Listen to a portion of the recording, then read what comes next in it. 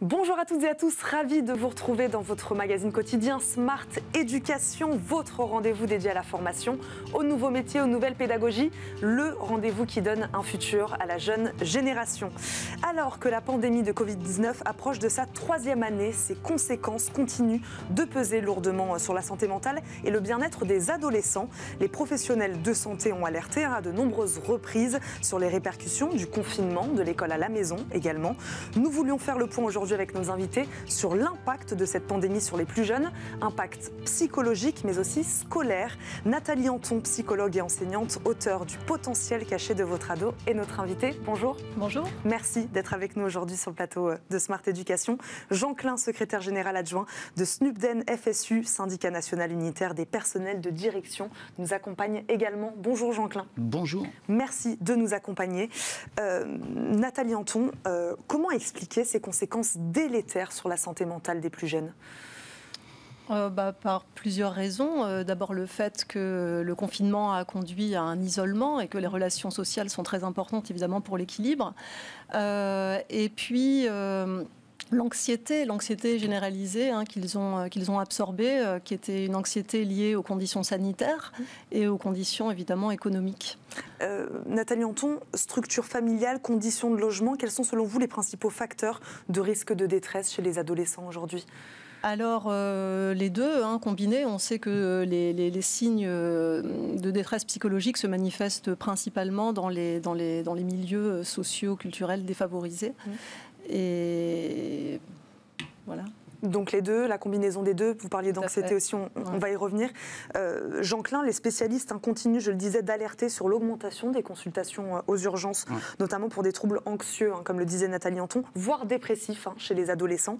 Euh, comment ne pas minimiser ce phénomène? Comment le prendre en compte? Ah, Il faut surtout pas le minimiser. Mhm. Moi, je suis entièrement d'accord avec ce que vous venez de dire à l'instant.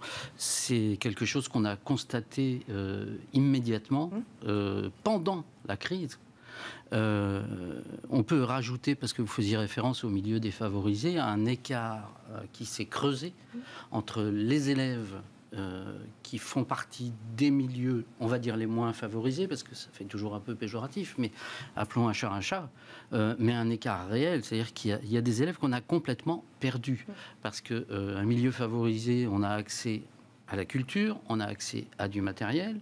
Dans un milieu défavorisé, parfois, on n'a pas du tout parce qu'il y a une idée rampante quand même qu'aujourd'hui tout le monde a Internet, tout le monde a du matériel.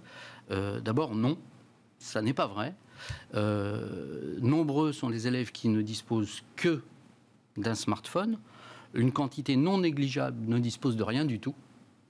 Donc ceux-là, de fait, ont été perdus pendant tout le temps euh, de ce que le ministère a appelé l'enseignement à distance et que nous, préférons appeler de l'enseignement dégradé, parce qu'on se prive de toute une partie essentielle dans l'enseignement, c'est-à-dire du contact direct mm.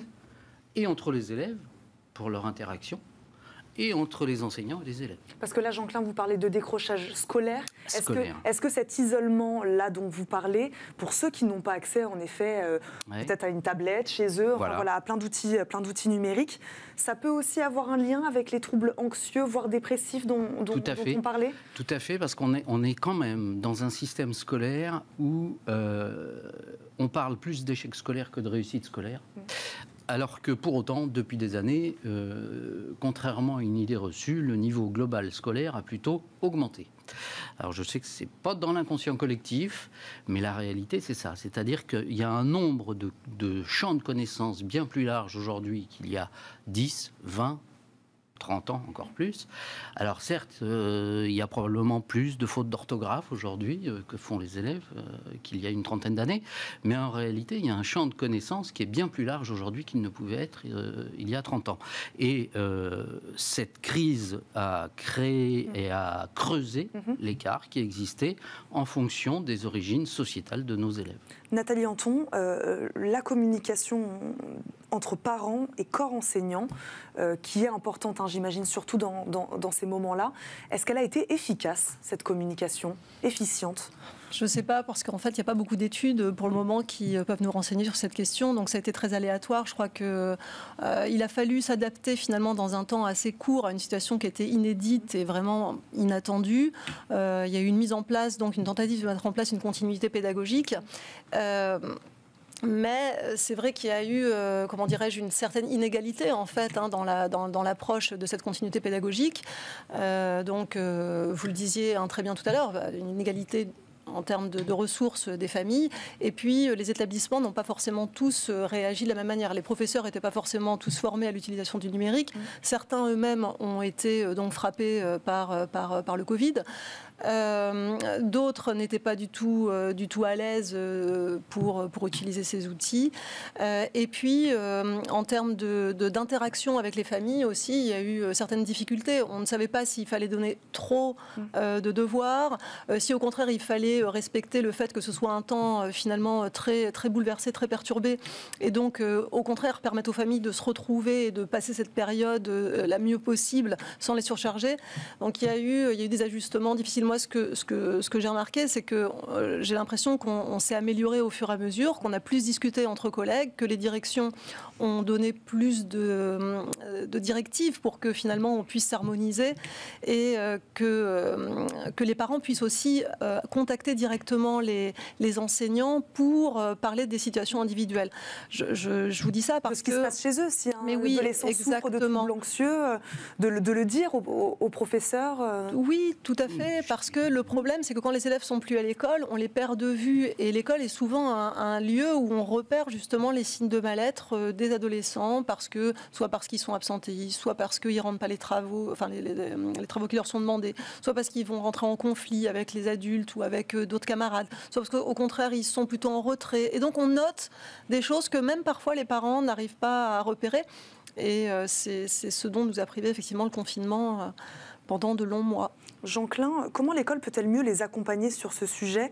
Euh, Quel levier elle peut actionner pour améliorer justement ce bien-être euh, psychologique hein, des enfants et des adolescents? Alors moi, le bien-être psychologique, d'abord, enfin quelque part, c'est le cœur de notre métier, euh, la réussite scolaire évidemment, mais du coup qui est lié au bien-être psychologique d'un adolescent. C'est-à-dire qu'on ne peut travailler correctement que mm. quand on est bien dans ses baskets, mm-hmm. qu'on soit d'ailleurs un professionnel ou qu'on soit un élève. Euh, donc, euh, pour nous, c'est très important que les élèves soient euh, dans de bonnes conditions, qu'ils soient à l'aise et pas du tout dans l'anxiété que vous décrivez. Mais c'est au regard, comme disait Nathalie Anton, des établissements alors, difficile de. Alors, il y a une autre difficulté dont on a finalement très peu parlé, et au cours de cette crise, et encore aujourd'hui, à, l'issue, si tant est qu'on puisse espérer qu'on soit à l'issue d'une crise, euh, ce qui n'est pas certain. Mais. Euh, on a passé notre temps dans les établissements scolaires à trouver les mots pour que, pour éviter de tomber dans une forme de catastrophisme, mais à trouver les mots pour expliquer aux jeunes, et je pense peut-être encore plus dans le cadre du collège que du lycée, mais enfin ça concerne aussi un peu les élèves de lycée, pour leur expliquer qu'il fallait utiliser ces outils-là avec une forme de parcimonie dans la mesure où ça comportait euh, des dangers. Il y a eu plusieurs initiatives qui ont été développées avant qu'on soit confronté à cette crise pour expliquer les conséquences négatives d'une euh, exposition euh, par trop longue aux écrans. Et puis du jour au lendemain, alors Évidemment, ça a été quelque chose de positif, puisque ça a permis de pallier une situation euh, dans laquelle euh, les élèves ne pouvaient plus avoir classe. Mais euh, c'est pas la même chose mhm. de suivre les cours derrière un ordinateur ou d'échanger par mail avec un enseignant que d'avoir une interaction directe. Et puis surtout, on a augmenté d'une façon exponentielle la durée d'exposition aux écrans et que euh, quand on a affaire à des élèves qui chez eux ne sont pas forcément des élèves, mais des enfants, euh, forcément attirés par l'outil euh, et la technologie euh, du smartphone, de l'ordinateur, du portable, etc., mais pas seulement dans son aspect éducatif. Mmh. Et c'est-à-dire qu'il y a eu des dérives vers les jeux et, et, on a constaté des addictions et des souffrances qui en ont découlé. Nathalie Anton, vous avez constaté la même chose, peut-être trop d'écran pour certains, pour certains adolescents euh, Certainement, en fait, euh, et puis euh, lié à l'isolement, en fait, tout mm. simplement, parce que les écrans, c'est aussi le moyen de maintenir le lien social qui était absolument essentiel. Mm. ce qu'il y a, c'est que les jeunes se sont de plus en plus, en fait, distraits des apprentissages et décalés aussi en termes de rythme, ce qui, ce qui a pu influencer une forme de, malaise, hein, puisque mm. quand les enfants sont décalés, ça peut générer justement de l'anxiété. Nathalie Anton, on a beaucoup parlé de l'impact de la pandémie sur les étudiants aussi, hein, également. Les adolescents sont-ils plus vulnérables selon vous Et si oui, pourquoi? Alors euh, là encore, les études sont pas forcément très, très, très claires. Euh, les enfants ont été plus protégés que les adolescents et euh, le problème des étudiants, c'est qu'en plus, eux, ils ont, ils ont été frappés par une, précarité économique que les, les, les adolescents n'ont pas forcément vécu, puisque c'était certes à travers leurs parents, mais alors les étudiants, on a des études effectivement qui montrent qu'il euh, y a une dégradation euh, très nette hein, euh, du moral et des conditions de vie, les deux étant là encore très fortement associés. Euh, il y avait une, étude hein, pendant le confinement. ont été Exactement, 56% des étudiants qui disaient qu'ils ne pouvaient plus subvenir à des besoins de première nécessité, 23% qui disaient avoir eu euh, déjà des pensées suicidaires pendant le premier confinement. Donc ça a vraiment été 73% euh, qui se plaignaient d'avoir vraiment souffert psychologiquement de ah cette situation. Les, étudiants ont vraiment été très touchés. On hein. n'est pas sur les mêmes aspects en tout cas que les adolescents, c'est ce, que, vous nous dites. Euh, Jean Klein, quelles conséquences sur le long terme Vous parliez évidemment donc du décrochage scolaire. Cette crise peut-elle avoir véritablement? Vous parliez qu'on a creusé les écarts. Oui. C'est pas irréversible? Bah, il faut espérer que ça, ne, que ça ne le soit pas.